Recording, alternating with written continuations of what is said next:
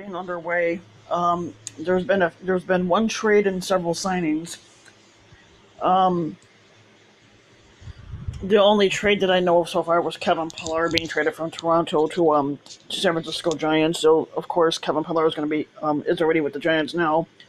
Um, now for baseball signings, there's been at least five or six this week. Um,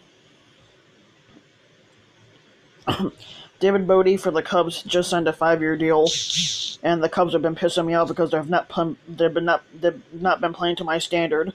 Um, Acuna Jr. for the Braves um, just signed an eight-year deal for like a hundred million. And then you got Randall Grichuk just signed a five-year deal with Toronto Blue Jays for five years, and I think it's like fifty-two million. German Mark uh, Marquez for um,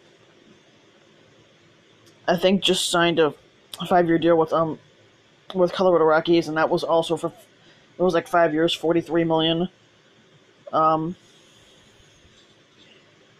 and then I thought there was a couple more, but I can't remember exactly offhand all of them.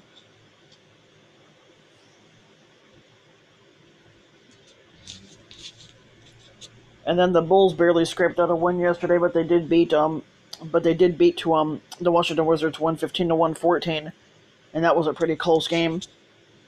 And now, since I got my cable put back on, I've been watching. I've been trying to catch up on a lot of my sports stuff that I've missed out on over in over a year. So hopefully, I can start watching all my sports again like I used to. So yeah.